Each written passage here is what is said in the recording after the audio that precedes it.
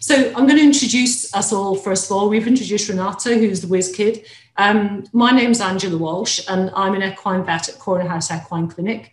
I've recognised a few of your names actually that are registered, so hello to you. Um, I am a commoner Garden equine vet. I do quite a lot of management. I quite enjoy surgery. Um, so I might just chop off a few tumors here and there. I'm always out and about with my laser. I'm very keen on my laser. Um, but just because I enjoy surgery doesn't mean that I'm a specialist surgeon. It just means I'm a vet who happens to enjoy surgery. Um, Ollie has kind of taken it to the, uh, the, you know, to the limits on that. He's a vet that only does surgery. Um, and he works at B and W. I'm going to say that very slowly, B and W, because it does sound like BMW, which is a car that none of us can afford. Um, and he's a specialist surgeon, so that's quite different. And we're going to explore what that means because I think it's really important. And then I'm going to ask you afterwards whether you know if you've got a specialist surgeon at your practice or a visiting surgeon. So um, I think probably the best thing to do is ask Ollie, uh, you know, how, how did you become a specialist surgeon or how did you get into being an equine vet in the first instance? Because I think your parents were a bit disappointed, weren't they? End- endlessly, endlessly disappointed. Um, oh, thanks, Angela. Well, um, yeah, so to be honest, getting into an equine vet, I was going to be a proper vet when I went to college and be James Herriot and, um, uh, you know, sort of trudge around Yorkshire and see cows. And I actually slightly come from farming background. So my mother's family all, all farmed. Uh, there, we've been yokels for a long time. Um, but I was at college about 200 years ago in Liverpool, which um, when uh, as it still is actually has an amazing equine department and some really inspirational people used to work there sadly um, uh, some of them have, have, it's so long ago some of them passed away and, and some have retired but uh, it was a truly fantastic place to, to be a, a vet student and uh, became fascinated by horses. It always has something of an interest, but it was definitely not a not a big thing from the get go. Um, and then by some accident, there was some sort of clerical error when I applied for a job in Newmarket when I left, um, and uh, and unfortunately they got me rather than the person they wanted. So I had two years in um, what is now Newmarket Equine Hospital. It was good old Greenwood Ellis and Partners when I was there, uh, and that sort of set the, the, the die was cast from there. So my next job from there, um, again, I, I, sort of stumbled into a um, uh, a surgical training at the Royal Vet College, and that that's really where I sort of did did my did my surgery. So uh, as as Angela said, you know, most people who get into equine practice are um, yeah, most people are general practitioners in the same way that you might go and see a GP um, as your first entry into the NHS. Um, the, the route to training as a specialist surgeon is very similar, really, to training as a, as a human surgeon in terms of the, the, the path that you take. So I did an internship at in Newmarket, so I did two years there, which is sort of the equivalent a, of a house officer's job in a, in a human hospital. And then I did three years as what, uh, what we termed as a, a resident, which is an American term. Um, interest, uh, I discovered the other day actually that was um, it, it, they call them residencies in America uh, because a very famous surgeon invented that because he expected his surgical trainees to live in the hospital and not leave, um, and it was a bit like that. Sounds good. Uh, yeah, exactly. He, apparently, he was a he was a, a, a um, uh, turned out that he was an alcoholic and a heroin addict, but that was back in the days when that didn't matter. Apparently, he was, uh, but was, that was the 1890s. Um, so I did a residency. What to say is sort of the equivalent of being a registrar in a human hospital, and what that allows you to do if you if you do the right training is to then essentially tick all the boxes that you need to to sit your what are called your board, certifying exam. So to be called a specialist, um, you, you need to have a diploma, and there is now a there's a pan European body uh, called the European College of Veterinary Surgeons, um, and that's the that sort of oversees the specialist surgeons in Europe. Um, in order to gain entry to that, you have to pass exams. In order to be able to sit the exams, you have to have done a residency and to have, have ticked the various boxes of um, uh, that you need to get through that residency. So you have to do a certain amount of research, which was never a strong point of mine. Um, you have to do a certain number of cases, and, and, and, not just any old cases, but you have to, you know, there has to be a degree of complexity to them. There's a a list of types of surgery that you have to do. You have to do a, a, a good breadth, and, and, you are trained. Um, so you're trained by you have to be trained by an existing diploma holder, um, or as is often the case, and certainly was for me, several different diploma holders who would all have their training in around the world in different places as well. So it's it's a, it's a, it's actually a, it's a fantastic way to kind of all that knowledge that they've gained from you know some of my people who trained me um, had worked in Ohio, Wisconsin, Penn, and uh, as well as uh, in this country the RVC. I picked up a lot from from Liverpool as well. So all that kind of fed in, and as I think it's been talked a lot about actually um, in the in the press recently. You know, medical training, veterinary training is so international now. Um, we're very lucky, you know, we can have these chats. There may be somebody watching this from the other side of the world. It's very easy to do, um, but it does all feed into your into your training. So it's not it's not trying to remember what you learned as a as an undergraduate. It's you know most of what I do now is all sort of postgraduate training. Yeah, and then having done that, and and again, um, I pretend to be a to not be a computer whiz kid, and actually I managed to hack into the computers at the University of Zurich and change my exam results. So I passed that, and um, and then yeah, you're you're loose on the world as a as a, as a specialist. Um, and then of course, you know that was the, I, I, finished my residency in 2002. Yeah, long enough ago. Long enough ago, I can't really remember. Um, yeah. And then I've just been in surgical referral practice since. Very good. So that's probably why you're a bit better at surgery than me, then, really, with all of that stuff. Uh, so, um, yeah, I was fascinated I, to know how many actual specialist equine surgeons there are in the country. And I was thinking there probably was about 30, but is that correct? Or that's a very good question, actually. Uh, and I suspect you probably at some point asked me to find that out before I did this talk, and I might have forgotten to do that because I'm a surgeon and I can't remember to do anything. No, um, this I is think, true. yeah, I think it might be slightly more than that. Actually, there aren't. There's not. There's not huge numbers, um, and, and, certainly that are sort of busy in in surgery because once you qualify as a surgeon, some people will then veer off into research, or some people become very much primary teachers. But yeah, I think there'll be a few more than that. My okay. quick guess, I, I, would maybe nearer fifty um, across across the, all the universities and the um, and and the there's only only really a small number of large private referral hospitals. Yeah, um, and I was just going to say I didn't mention this earlier, but um, I know you obviously because you used to come and locum for us when you were twelve um, about 20 years ago. That's what you looked like. You looked like you were about 12. But then laterally, um, I just wanted to explain for people who didn't know what CVS Equine was. Um, our practice, Corner House Equine Clinic, joined CVS Equine, and you joined about a year before. Um, and I don't know whether people are aware of it or not because um, it's people haven't really heard of CVS Equine. It's very much in the background running everything.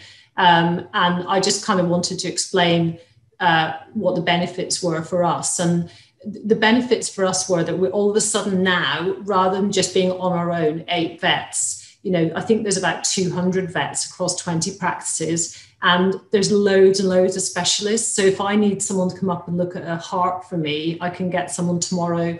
Need someone to do surgery? Just click my fingers, Ollie arrives. Um, so I mean, it's brilliant. We've probably got about um, 10 or 15 specialists that can just rock up, um, look at stuff for us, sort stuff out for us, help us. Um, and horses don't need to go anywhere else now. And I know that you provide visiting surgery services to other practices. Um, where do you go just out of interest? Because you just go to CVS practices or do you go elsewhere to other CV, other practices? No, I don't. So I, um, so yeah, we um, we joined. So B and W. Um, it was two practices that merged, and then we we joined CVS. Must be nearly four years ago now. I lose yeah. track. Um, and um, uh, so uh, yeah, no, it's it, you know it's quite a big group of practices now. So but so yes, I do go to other CVS practices. There's a, a lovely practice down in Sussex that I go to, uh, um, almost as friendly as Corner House. No, they are. It's actually very similar. they're very very nice. It's fantastic to go to go there. Um, uh, but I do go to other practices as well. I, uh, there's a place down in South Wales, which again is lovely to go to. A few places in, in Dorset and um, in in Devon, um, and a few further afield as well. Uh, so I've operated in Denmark um, and unusually in Iran as well. Wow, which was a that was a good trip. Um, it was I was I was actually there teaching on a course, and I, I got a, a, phone call in my hotel room. The phone just started ringing in my hotel room at about ten o'clock at night, and um, one of the guys from the course said, "Oh, do you fancy coming and cutting a colic?" I was like, yeah, "Why not?" Not hadn't been much drinking going on in Iran, so yeah, I was pretty sober, and um, yeah, so I went and went and did a colic surgery, which, which was brilliant. It was uh, I, I, saw something I've never seen in this country, so uh, it was a, you know learning experience for me. Um. But yeah, it's good, really good. Very good. Uh, so I was going to ask another question now of our audience. Um, it says your bandwidth is a bit low, Ollie. So can you tell your children to get off the internet? Just get off, get off Netflix. daddy's, daddy's working. Um, we can still see you, but just occasionally it's just pixelating a little bit. Um, and I'm sure that all your female fans won't like that. Yeah, no, pixelating's fine. That, that's what I'm doing at this end to keep the people interested. yeah, I need some major pixelation, I can tell you. Now I'm 50, uh, so I'm hoping I'm very pixelated. Um, so, Renata, could we have another question, please? I was going to ask um, everyone. Um, oh, if you've got a horse, has it ever had surgery at the vets other than castration? Because obviously that's quite common. Um, and I'm going to say no because mine hasn't. I'm going to say yes because mine has. Oh, okay. Do Stressful colic surgery, that one. so it'd be interesting to see how many people have um, experienced that from the client's point of view, because I think they do get really worried, you know, especially when the horse is on the table and they're waiting for us to ring. So, okay, well, that's interesting. It's kind of 50 50, but that's actually more than I thought it would be. Um, so quite a few. So it might just be that people who have had a horse that have had surgery are coming to check you out, see if you're any good or not. And so the next question that I wanted to ask was, are people aware if they have, you know, a bog standard surgeon like me, um, so a GP vet who's probably quite good at surgery, or do they have the posh specialist surgeon coming to your clinic? And might be worth you finding out. So let's if you want to fill that in, I'm going to put yes because we've got Ollie coming to us. So I'm going to submit that and we'll see. Just be interesting to know because I don't think people are aware of that. I might be wrong, but let's see how many people um, have a specialist surgeon at their practice. If you're with us, Corner House, just say yes. Let's bump up the numbers. I, I said yes as well because we've got some really good surgeons in our practice. Yeah, apart from you. when, I, when I'm away. oh, brilliant. Okay, so 28% are not sure. So I think it's worth finding out. You know, I wouldn't go down and complain and go, oi, but equally, it's nice to know, you know, if you've got someone operating on your horse, are they board certified or not? Because um, I wouldn't be going to my GP for an operation well, probably not. Maybe maybe a small verruca, but I wouldn't be getting him to do much more than that. Um, so um, we're going to. What I'd quite like to do, Ollie, is I've had a look through our records for the last year to see what surgeries we've done. You've done most often for us, and I picked out four. Um, two of them are quite similar. I've just realised, but anyway, we can spend more time on the others if you think they're more interesting. And for each surgery, I've got two questions to ask people um, because I'm getting really good at typing questions now. Uh, and the first surgery that I wanted to ask you about was um, what's colloquially called kissing spine surgery. And that was a sur- that was something that was really fashionable, I'd say, about five years ago. Um, and we still do quite a few, but there was a peak, I would say, five years ago, like every horse that was lame had a kissing spine. So, well, we didn't do that, but um, and maybe 20 years ago, no one had even heard of it. So it was kind of was a fashionable operation. I wanted to know, just so you don't have to keep coming back to me, um, what signs do the horses show? What kind of horse are they typically? Um, how do you diagnose it? How do you make sure you're doing the right op? Um, what is the surgery and how has it changed? Because I've noticed that you're doing them differently from how you were for from us for us a couple of years ago. And um, what's the success rate? Um, so, do you want to? Shall we ask the question first if people have heard of it and whether they've experienced it, and then you explain it, or do you want to ask the question yeah. after? No, uh, yeah. When you I'll, I'll ask the question. Then, okay. So, uh, can we have the next question, please, Renata? Have you experienced a horse that has kissing spines? And I'm going to say yes because I've got a friend. Well, I've obviously I've seen loads here, but personally, I've got a friend's horse who's got it. So that'll be interesting to see. I think it is something that a lot of people are aware of now. And if they're not, they will be soon. so let's see. Oh, wow. So 20% of people have actually had it with their own horse and 40% with a friend's horse. Um, and only 4% haven't heard of it. So it, I, yeah, so it was quite fashionable, wasn't it? So over to you, Ollie. Um, I'm just going to warn everyone that some of the Ollie's slides, I was having a look at them earlier and they're like a little bit gory. They're not terribly gory, but if you are of that. I'll give you the, I'll give you the heads up before they get too gory. Yeah, it might be worth going and get a glass of wine at this point if you don't like gore. Over to you, Ollie. Right, so I'm going to do the classic thing of saying I'll share my screen. Um, let's see how that goes. And hopefully. Right. Okay. There we go.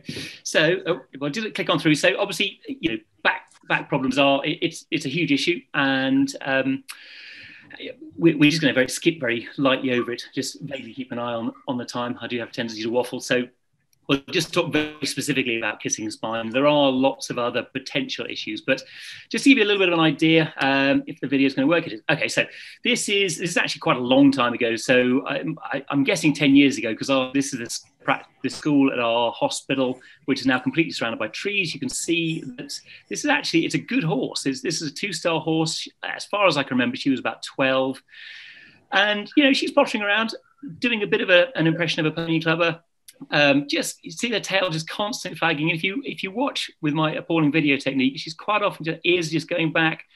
Every now and again, you think she's a bit lame in front, she's a bit short striding behind. Just a little bit uncomfortable. You know, nothing nothing huge. In fact, after I stopped filming she did do some proper bucks and rears, but she is, you know, just doesn't really look like a horse that's ready to go and do two star, just a bit grumpy, bit of a rocking horse canter. And these will often have, they'll, they'll often start to have problems with canter and then get um, progressively worse down the um, down the gaits from there. So then get have problems with trot and then start start having problems with um, uh, with walk. And sometimes they, you know, just getting on board is dangerous. Um, and, and, other times it's really subtle, and uh, you know, you really kind of struggle, and at least until you see the horse ridden, to really appreciate what the problem might be. Um, so we'll just skip on. So that was before we had done a nerve block. Now this is the horse, exact same horse, about uh, 15 minutes later. And what we've done is injected some local anaesthetic around the site of its kissing spines. Um, and all of a sudden you can see actually that's that's a horse that can really do a lot better than it was doing before. And the only difference is it can't feel that site in its back, just drops nicely into canter very relaxed tail, ears pricked, dropped into an outline. You know, everyone's happy with that. And it's um, so that's you know a condition that can look very different, hugely variable. But that's the kind of the classic of what we're of what we're looking for. And as I say, sometimes we don't get to see this because they oh flying change um, they because nobody's going to get on board because they're just dangerous uh, and that's certainly you know the other extreme so that's you know, just give you a little idea of what we're looking at. Um, and then what is kissing spines? Well, this is a horse's back, obviously with a horse's skeleton held up next to it. You can see how they get the shape of their withers. So each vertebra, actually I think if I click onto the next slide, here we go. Each, each vertebra has a dorsal spinous process um, and they're just much longer in horses than they are in us. So um, if they yeah, they're particularly long at the withers, um, and and then you get down to this area, uh, they're somewhat shorter. Now they should be nicely spaced. Bone was never really designed to rub up against bone unless there's cartilage between it and a joint. And uh, when you get when you the, the classic description of kissing spines is that you've got bone rubbing against bone, and because this is the inside of the curve, right under the saddle, as they get a little bit older, these will tend to, uh, unfortunately, all of us will learn in time that as you get older, things start to sag a bit and their backs are the same. Um, Renata will probably have spotted that this horse also, this this spine came from a horse that also has some unpleasant lesions in its joints here. Um, but this is what we're talking about up here is just is bone grinding against bone at this point up here. In terms of which horses we tend to see them in, um, thoroughbreds are, are, hugely overrepresented. So it's, it's not at all uncommon to see these in horses that have been in training not because they've been in training, but because they are thoroughbreds, and thoroughbreds seem to have a, a predisposition towards it. This is what we see when we x ray them. So, if you uh, remember what we looked at before, um, so dorsal spinous processes, dorsal spinous processes, nice gap here, not much space here, getting pretty chewed up here, and then you start to see this really sort of punched out appearance here. And the reason for that is you're getting a lot of bone reaction where um, the, the, whiter stuff means that the bone is thicker, the blacker stuff means that some of that bone is being resorbed. So it's a real, rather than a nice smooth outline that, that you've got this rather reactive, a bit like a, it ends up looking a bit like a sort of a lump of solid cotton wool where um, those two bits of bone are grinding against each other and, and reacting. In terms of diagnosis, obviously we're going to x-ray them. Um, and one of the issues that we have with horses is our ability to image horses backs is, is a little bit rudimentary. Um, so we x-ray them. Um, bone scan can be really useful um, and ultimately deciding whether this is causing the horse pain what we do is this is this is a, uh, a long needle here. Is actually two long needles one either side and we just inject local anesthetic down at the, uh, at the level here. Now the spinal cord is here so all the nerves coming up from that to, to tell the horse whether this bit hurts have to get past this, this blob of local anesthetic here. And so if we inject local anesthetic here, then the horse can't feel what's going on here. Um, so that's how we diagnose it. Um, in time, hopefully not all that long, we might be able to do CT scans of that area. We have a huge CT scanner at our hospital, but it's not big enough to get that part of a horse into. Um, and sadly, MRI is completely out of the question as well. Whereas, you know, if you or I or um, a dog or a cat uh, has a back problem, we can MRI those. We can't. I can't. I wouldn't have a clue what to do. I can't spell cat, but um, but it's just not. A, that's not an option with horses.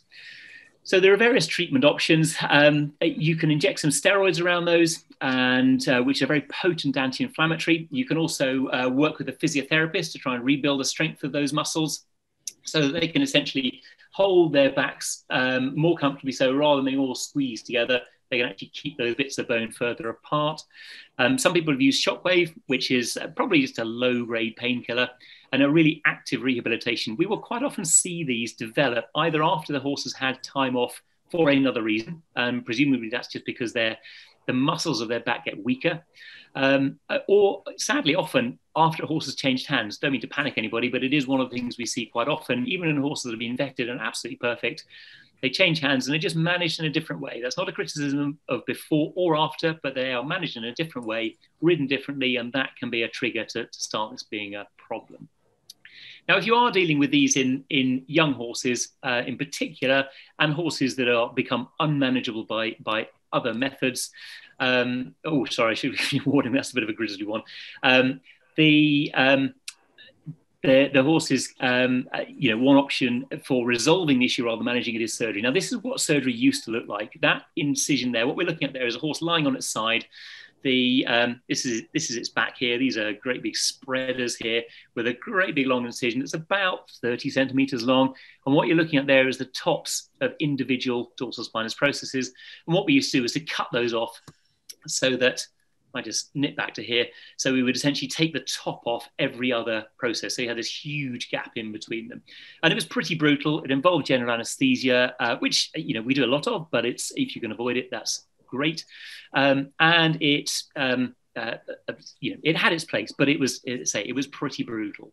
Um, what we do now is this. This is what we start with. We aim just to um, nibble a sliver of bone off the front of each process that's that's impacting the one in front of it to create space where where there isn't normally space. And this is what we aim for as a as a post-operative thing.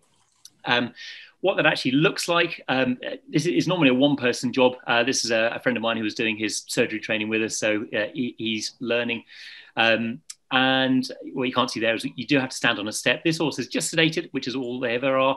This is in our X-ray room um, where I just freestand them. Uh, very nice at Corner House today. We were, we have them in the stocks, and that keeps them perhaps a little bit more still. So anybody who is a little bit squeamish, maybe look away for 20 seconds. I'm just going to play you a little video of, of uh, two little videos actually of what the surgery looks like.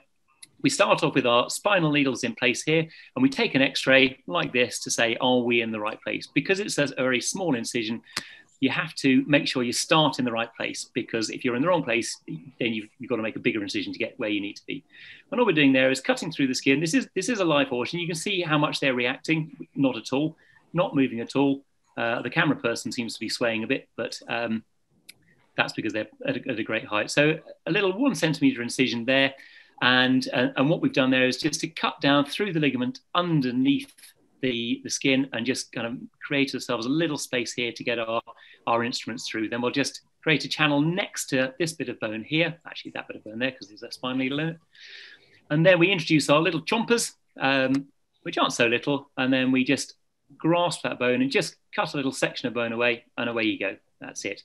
And then we're going to keep nibbling down. We're just having a little feel to feel that we're in the right place. But what we also have to do is actually take quite a lot of radiographs because, so take, take x-rays to monitor what we're doing, ensuring we're in the right place, making sure we're not leaving any little bits behind, making sure we've removed enough bone that we've got space there, um, and then we move on with the next one. Um, and so that's that's sort of what kissing spine surgery looks like these days. There are quite a lot of variations on the theme. That's what we do. In terms of um, outcome from that, um, so we followed up the first 120 we did like that a good few years ago now. In fact, Luca was in that picture follow that up. And essentially, about 77% of those will do fine and go back to work um, if they don't have other orthopedic problems. And, and other orthopedic problems, unfortunately, some of these horses are you know getting on in years and so have a few wheels coming off. Um, and obviously, if you you know lameness issues added into that, um, it slightly reduces the probability of the horse coming back to work because obviously they've got more things to get past. Now, in terms of the rehab afterwards, um, they're, they're, generally, certainly compared to how they used to be, they're very comfortable after surgery. Um, they have five days of, of uh, bute and we don't give them any antibiotics anymore. We just, just treat them with, uh, with some painkillers. They have four weeks of box rest and walking. Those little incisions are just closed up with staples that we take out two weeks after surgery. We ask for them to be fed from the floor so they get their head down and, um, and, and, and uh, start to stretch their, their necks down and stretch their backs.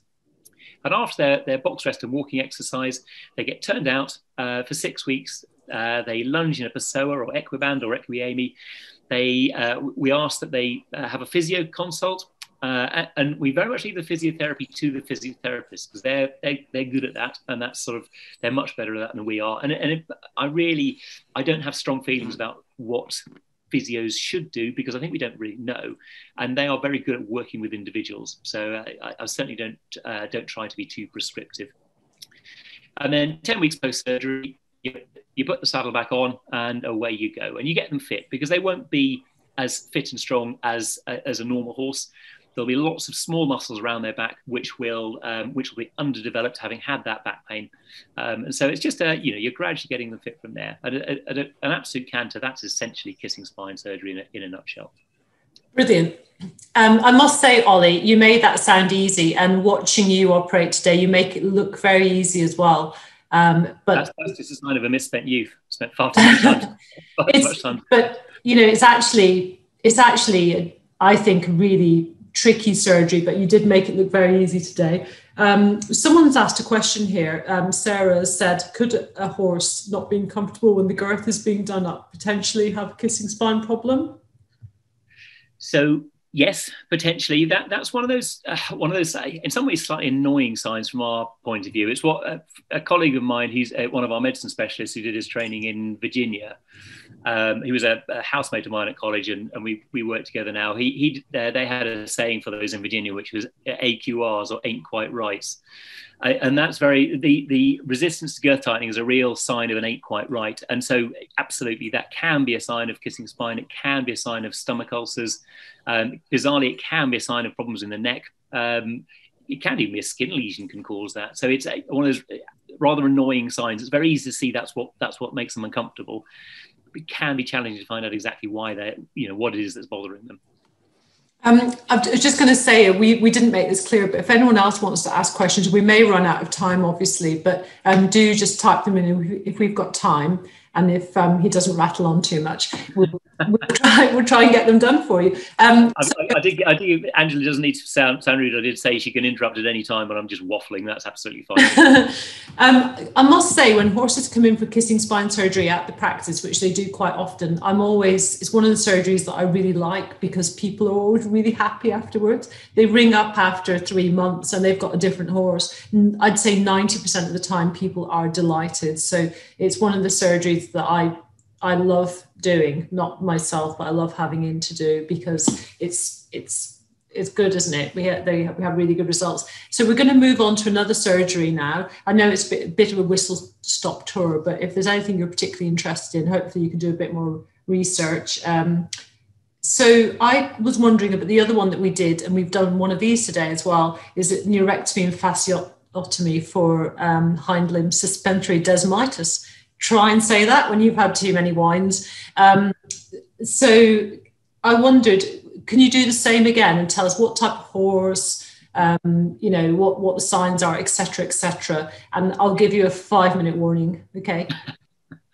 Yeah, absolutely. So, um, yes, yeah, suspensory disease, it's, it's another of those things what horses do. And, and actually, it's one of those conditions that I often likened to tennis elbow. You know, if you're a tennis player, you've got a reasonably high chance that by playing a lot of tennis, you will get tennis elbow. If you're a horse and you do sporting stuff, there is a reasonably high chance that you will get a suspensory injury. And obviously, in the grand scheme of things, not huge numbers of horses get suspensory injuries, but of things that are going to go wrong, this is definitely one of them. And it tends to be a sport horse thing, generally a larger horse thing, and often a dressage thing. Um, just a quick review of you know what is the suspensory ligament. Um, yeah, this is a, a, picture on the screen here. This is one of our nurses who's a, a, a very accomplished uh, endurance rider, um, and I just want to zoom up actually. So this this is a, zoom of this. And in fact, it, obviously we're looking at the front leg, but if you look at this, this horse is going to run 100 kilometers and look where its fetlock is at the peak of weight bearing. Um, the fetlock is almost on the floor. Now, the job of the suspensory, they've got one at the front, one each on the front legs and one each on the hind legs.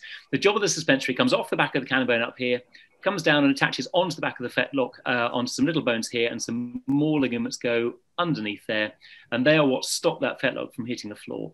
Um, and so it gets a lot of work. You know, this, is this is a little um, uh, Arabian that's that's used for endurance, and so uh, you know it's probably 450 kilos, which is actually even after lockdown slightly heavier than me.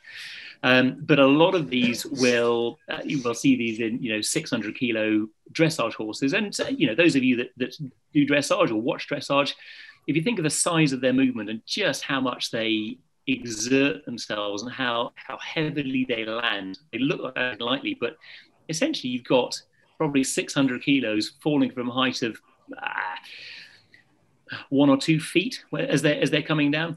So they really, really work those uh, those suspensories hard, and so it's almost a surprise that they don't all damage their suspensories, rather than that quite a few of them damage their suspensories. Um, in terms of what we've always done, we'll, we'll skip over diagnosis for, for that, which isn't isn't always easy, but we'll skip over that and assume that uh, your unfortunate horse has got a suspensory injury and essentially, up until relatively recently, um, certainly when I first qualified and when I was first uh, doing stuff, there, there, was only conservative management. There was no option, um, and we're actually really just going to talk about hind limb suspensory. If you had a, if you had a choice, um, somebody asked you the question: Would you rather have a forelimb or a hind limb suspensory injury? Take the forelimb every time because a, a, really good number of those will simply get better. They need some rest, some controlled exercise, bish bash bosh, away you go. Hind limbs are quite different. We'll come on to that in a minute, but essentially what we would traditionally do is give them six weeks of box rest, gradually increasing their walking exercise in hand or under saddle, and then re-examine them. If they were sound by that point, we'd start doing some trotting, gradually build up the trotting exercise over the next six weeks. And if they're still down, they'd start some faster work, and then about 15 weeks afterwards, they'd, they'd, they'd crack on. Um, so that was all nice, except that hind limb suspensory injuries rarely did very well. Um, and there's a good question as to why. So um, uh, there's a bit of technical language here, compartmental syndrome. So what we have here is an image that is taken of a, of a post-mortem specimen. This is essentially a, um, a very clever Frenchman who has fixed this so and then sawn the horse's leg off uh, just below its hock. So this is the back of the cannon bone here. There's a splint bone either side here.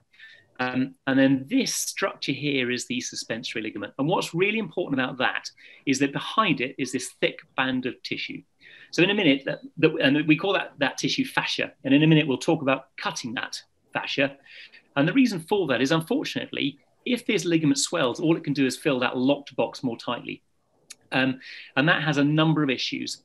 One of which is the nerve that supplies it, so that it tells the horse what that, that structure feels like, is also in that locked box. And so that gets squashed and crushed. And, and if you think how uncomfortable it is to bang your funny bone, what you're actually doing is whacking the nerve around the back of your uh, elbow there. So that's a single trauma to your nerve. this is essentially slowly getting squeezed, which can be very uncomfortable and it can cause permanent damage to that nerve. So that's one of the reasons that hind limb suspensories don't often get better just left to their own devices, is because the nerve itself is damaged. The, the other thing is in, in here, um, it's actually, we call it the suspensory ligament. It's actually, its proper name is the third interosseous muscle. I will be testing you all later on that.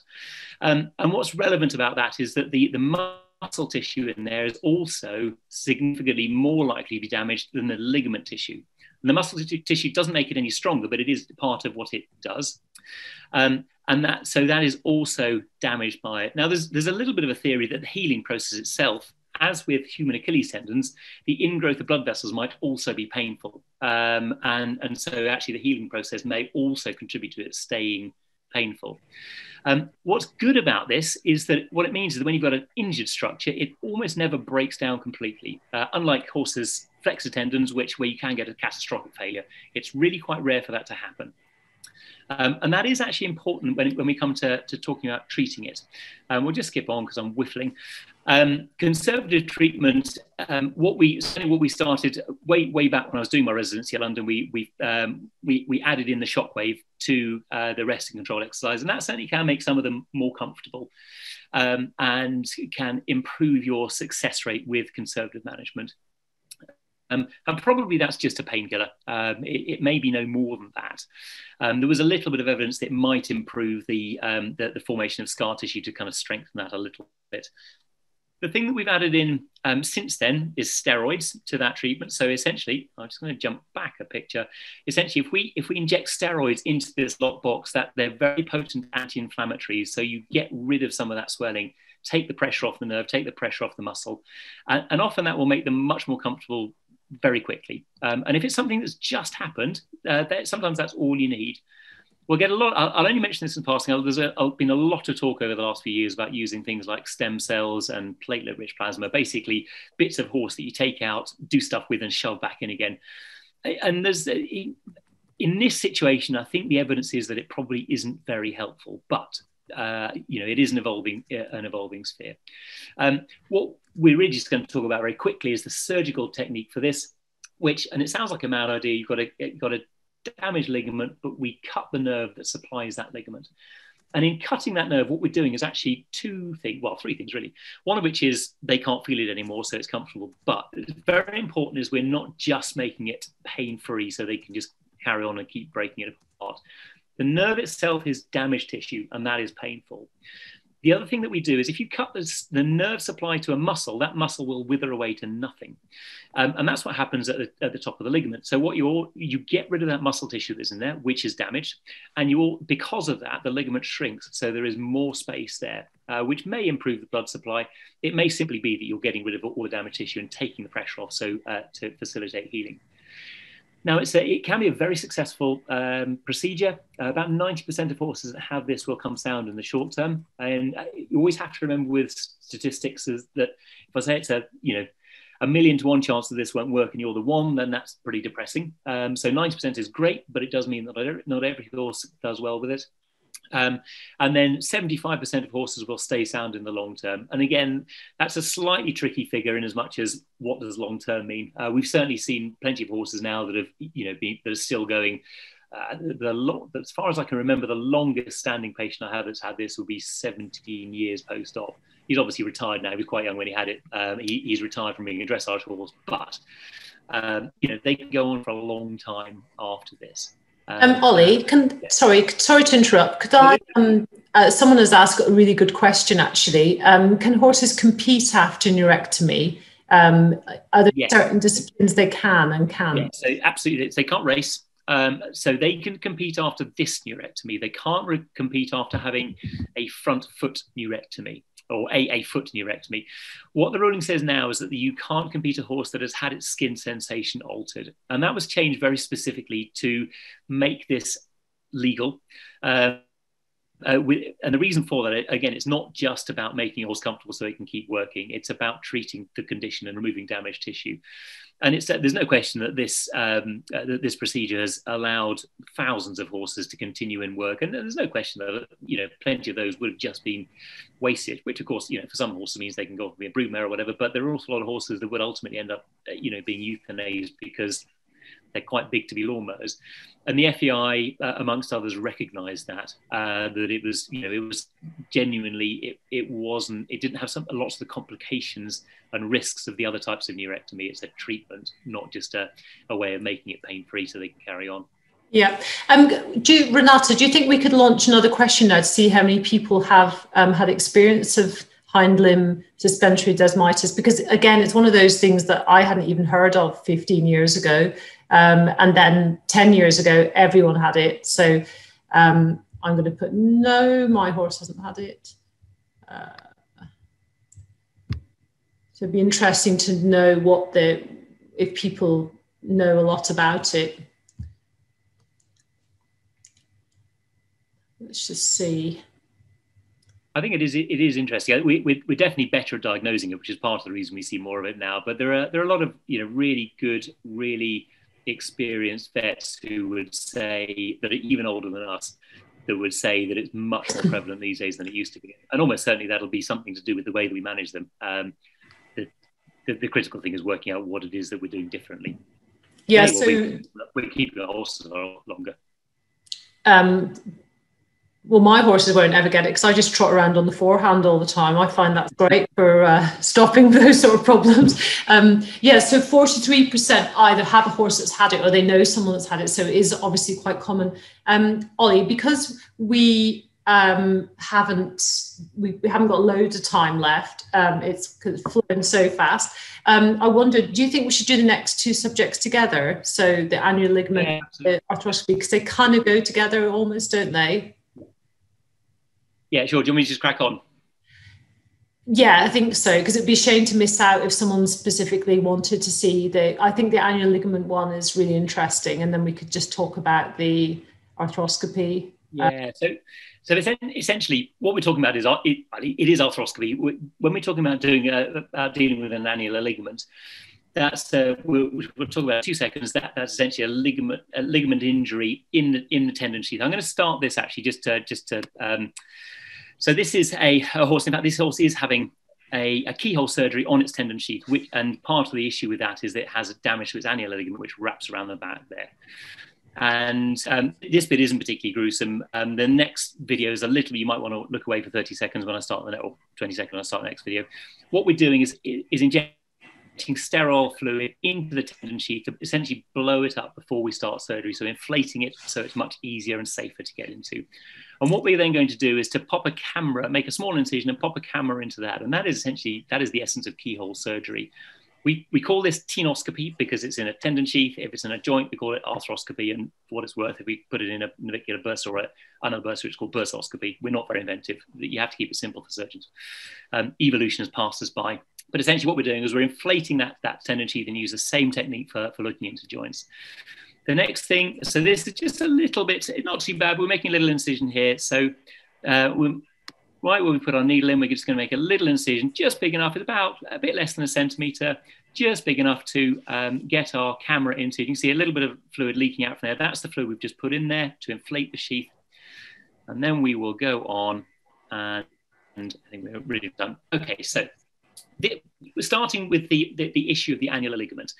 This is our camera looking from just below the tendon sheath, uh, sorry, just below the fetlock here at the back of the back of the fetlock here. We're going to put a camera in here. In fact, I will show you that just so you can get just to orientate yourself. We put a, a, a tube that the camera goes through, um, just pop that into there. And although it looks like, I noticed this earlier on, it actually looks I'm sort of taking a big run up of this. Actually, we're being really quite careful because tendons are very, are very delicate and very soft. So it's a, it's a curved end on that. And we're essentially introducing that looking up underneath uh, the, the little bone on the outside of the fetlock there. So that is the view that we get. What we have here, this is the, uh, the, the, the back of the tendon sheath at that point is made up of this annular ligament. This is the superficial flexor tendon, and this is the deep digital flexor tendon here. And what I'm doing here is I'm, in fact, I'll start this running because it also goes on a bit. What I've done here, this is a um, this, uh, the sort of needle that you would probably see uh, one of your vets come rock up with and uh, you know give your horse an IV injection. It's a 20 gauge needle, so that's the amount of space we've got. This is a really important structure that doesn't want blade stuck into it.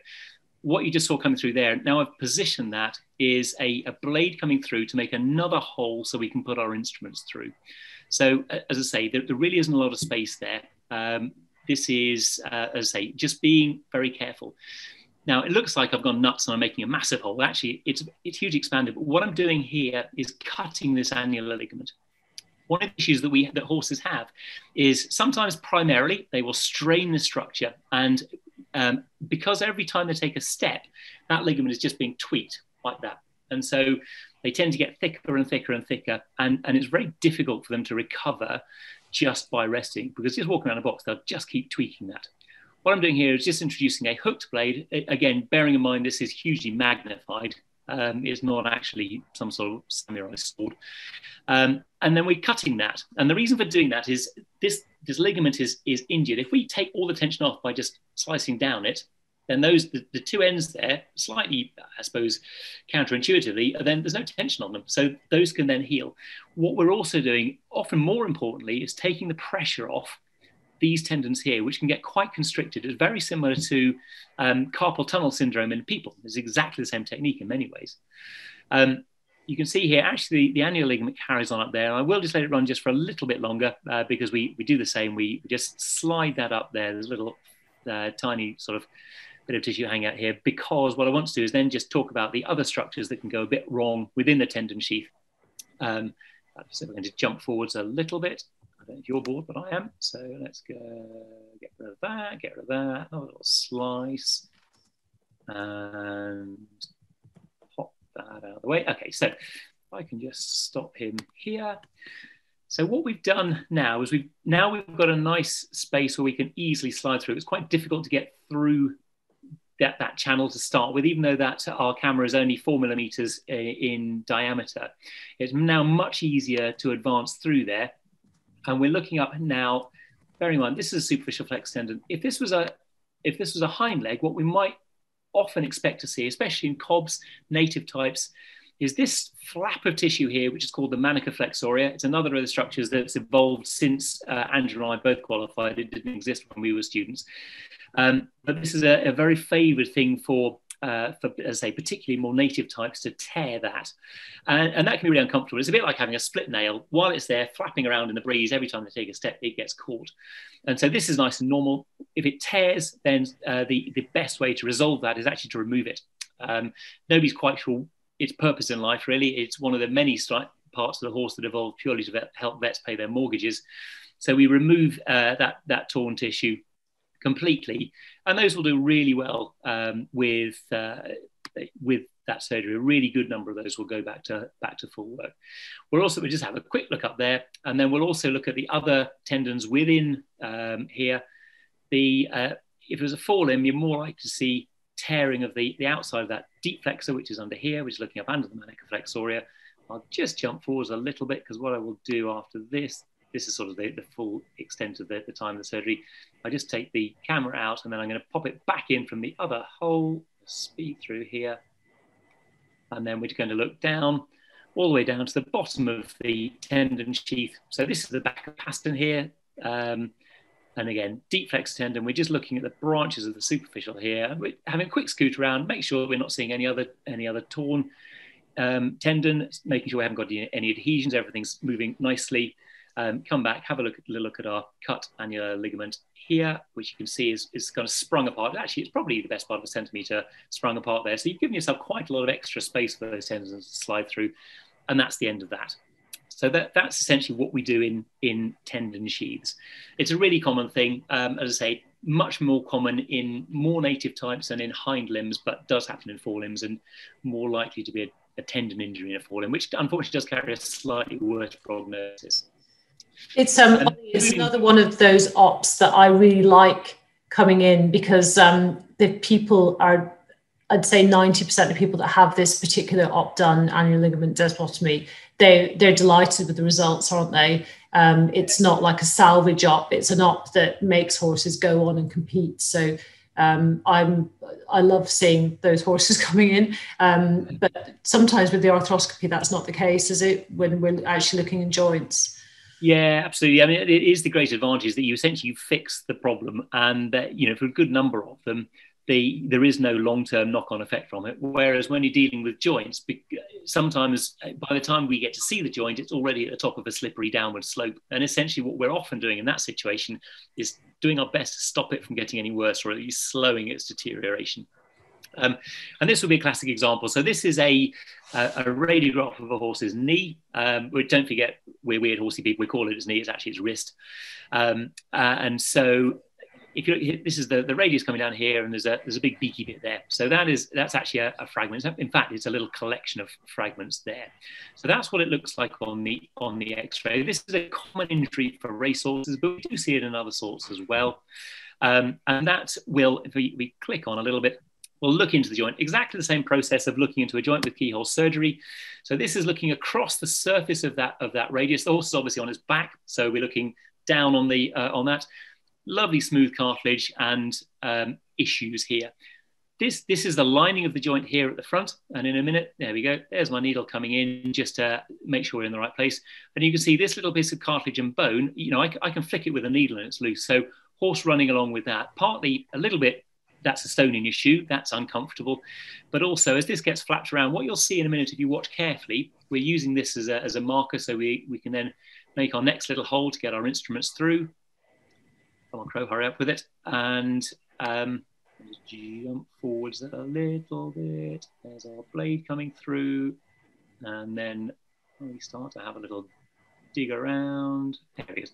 Okay, so if you look at that, what you may not you may not project well enough, but you'll see little showers of what's actually essentially bone dust coming out of here. And that's a really bad thing to have floating around in your joint. It's really, really good at promoting inflammation in the joint. And the process that that leads to cause, causes a lot of damage, chemical damage essentially, to the cartilage around it. And that the reason for wanting to treat these early is to stop that process before it's really become irreversible. We're just getting some little nibblers in here. We've just just lifted that off, and then because it's really crumbly loose stuff, sometimes this will come out it's really satisfying. It just comes out with one piece, and other times like this, it's really crumbly soft stuff. It's like soft coral, really, um, and you end up just kind of taking it out in in little bits getting rid of all of that. It's, it's never going to get, it's never going to heal. These are fractures that it, it is a fracture. It's never going to heal because it's constantly being nudged so that that won't get better. So we have to remove that. Um, and then as and when we've got rid of most of that, I think I got bored of videoing um, towards the end, but basically what we will then do is give the surface of the bone here, this fracture, I'm still digging out crumbly rubbish from down here.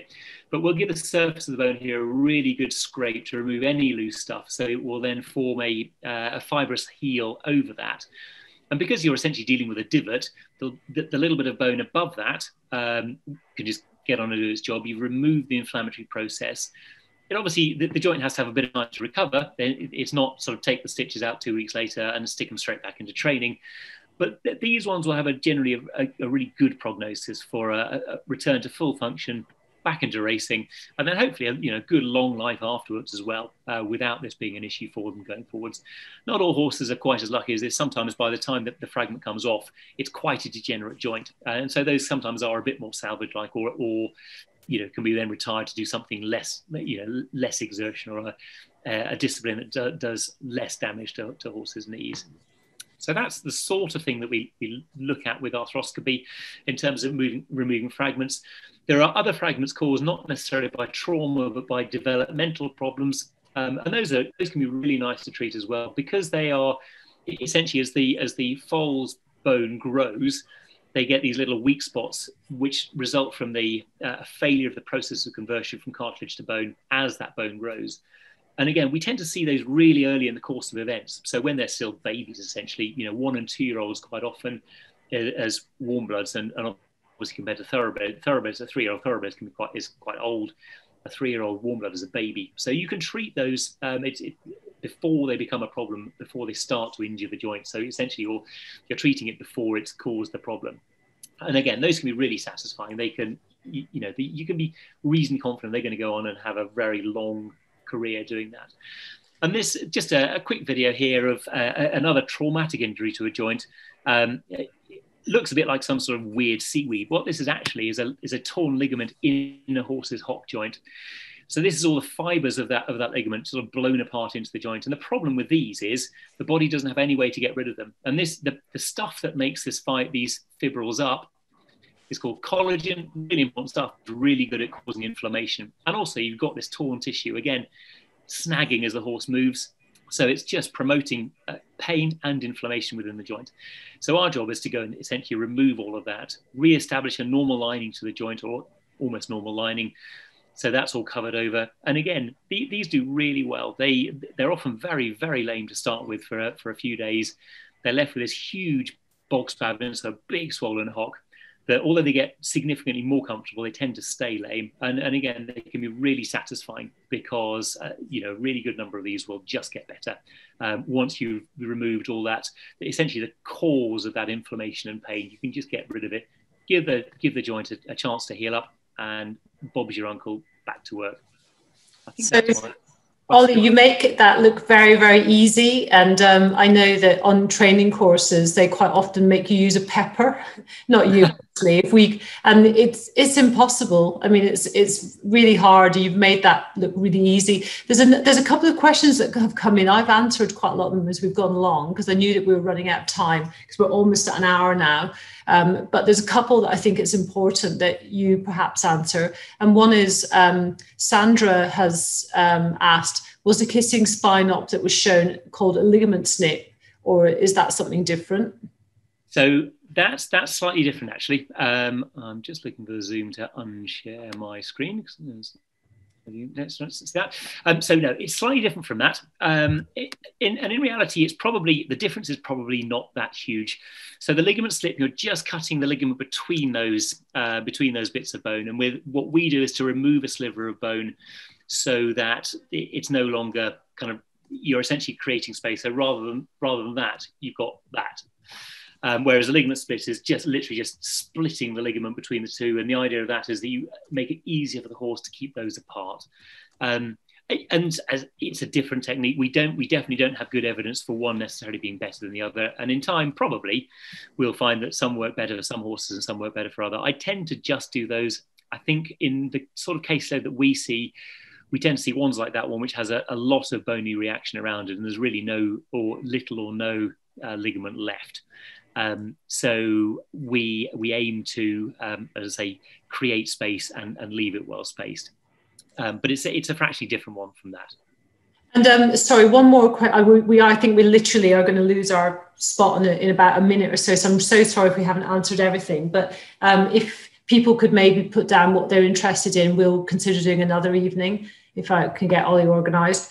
Um, but um, one other question that I just thought was interesting was um, someone's got a horse that's got degenerative suspensory desmitis. Um, and is there anything that could be done about that? The fetlocks are actually dropping. Yeah, unfortunately, unfortunately not. That, that's one of those really. So, having said that, it's very rare for for those ligaments to, to actually fail. Um, there are um, there are a small number of horses where that is unfortunately what happens is that slowly they just don't stand up to the to to the weight of the horse. And sadly, at the moment, the, the place they see it most in southern US, where they deal with um, Tennessee walking horses and a, and a few horses like that, where it, that's quite common.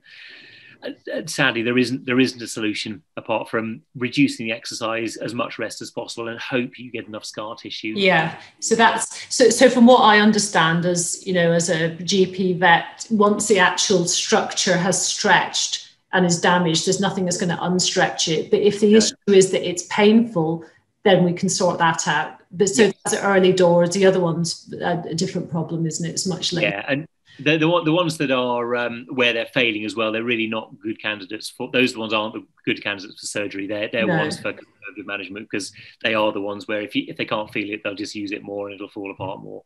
Yeah. Okay. Um, and one other, I know that I'm just, I know we're going to get cut off any second here. Um, someone's just saying, what's the success rate regarding um, kissing spine surgery for horses returning to work? So, uh, in in the uh, so short answer, seventy seven percent of horses that just have kissing spine will go back to work and stay in work.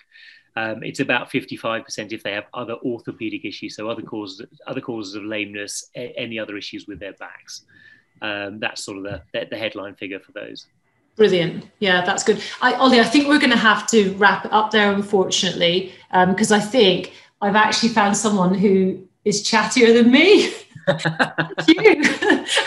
so next time we're going to have to get a quiet person allowed rather than two people. Um, so I'm so sorry if we haven't answered all your questions, but thank you so much, Ollie. That was really interesting. I'm sorry to rush you. Yeah, so it's always good to have a time limit, especially when I'm involved. Yes. well, I didn't like to say, but thank you so much. No problems.